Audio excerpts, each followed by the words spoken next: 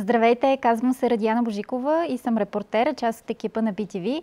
Днес ще ви покажа кои са моите топ 5 любими поста в Инстаграм.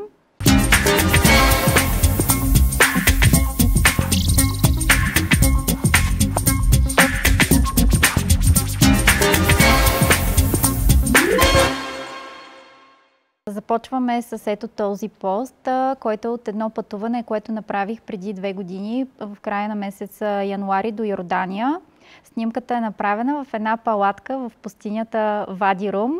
И споделям този пост, защото е наистина вълнуващо преживяване човека да нощува под звездите на палатка в пустиня. Ето тук на прозорчето тази чергичка, която виждате, тя е изтъкана от камилска вълна. Имахме също така и одеяла от камилска вълна, благодарение на които изобщо не усетихме никакъв студ през нощта, когато температурите в пустинята всъщност доста падат. Няма да забравя никога преживяването, когато сутринта отворих очи, отворихме вратата на палатката, отворихме прозорчето на палатката и пред нас се разкри един оранжев безкрай, и усещането беше наистина сякаш сме на друга планета, направо като на Марс. Препоръчвам на всеки да го изпита за тези, които не са.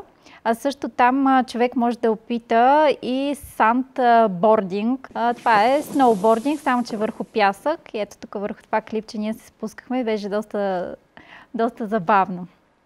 Така, отивам към втория пост, който за мен също много любим, с едно място от България, Нос Калиакра, любимо място, доста често го посещавам. Северното Черноморие го предпочитам, защото има доста по непокътнати плажове, отколкото в южното. Водата е по-чиста, малко по-обезлюдено е и човек може да си прекара чудесно, ако иска да се осамоти и да, наистина да си почине. Това е миналата година, август месец, когато рано сутрин посрещнахме изграва на Кану, обикаляйки целия район около нос Калиакра и тук съм качила няколко снимки от нашето плаване. Доста часове плавахме сутринта от ранни зори, някъде до към 11 часа бяхме във водите, около нос Калиакра, вълшебно място. Дори а, срещнахме делфини във водата, докато плавахме трети пост, точно над него, от миналата година, септември месец, когато с колегата оператор Добромир Иванов посетихме сръбското село Доня Лукошница през този период от годината то става цялото червено, защото е обсипано с, в сушени чушки. Всички къщи са накичени с много червени чушки.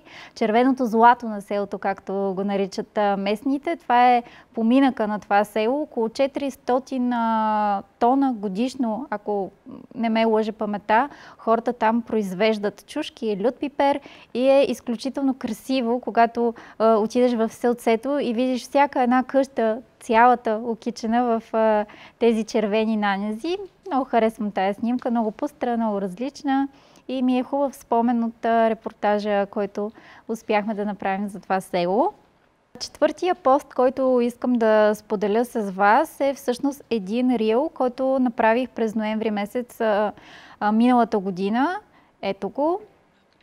Това е малкото граче Чешки Крумлов. То се намира в Чехия, Разположено е около а, река Валтава, която прави много красив меандър около самото граче, което пък само по себе си някак обвива един замък от а, 13 век, който е с мотиви от Ренесанса, от барока.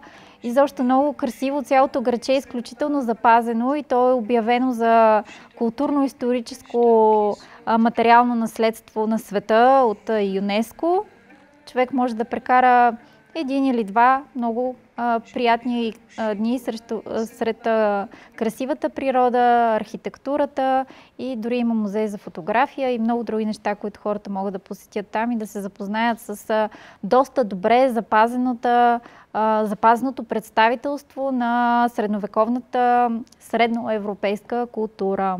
И към последния пост, отново няма да е точно снимка, ще покажа първия си гайд, който направих сега през юни месец. Той е за остров Прочида, за който отново пътувахме с колегата оператор Добромир Иванов, за да разкажем на нашите зрители за Прочида, италианската столица на културата за 2022 година. За първи път Италия избира остров – и всъщност искам да ви покажа гайда, защото това е едно много интересно приложение, което всеки от нас може да използва в Инстаграм и да добавя от своите пътувания снимки и впечатления. Хората, които ни следват, да могат да получат полезна, любопитна информация за нашите пътувания, евентуално също да решат да посетят мястото или просто да се обогатят с интересни познания за красиви места. И тук съм споделила няколко свои снимки, които направих оттам с любопитна информация. Италия е една от моите любими страни, да не най-любимата.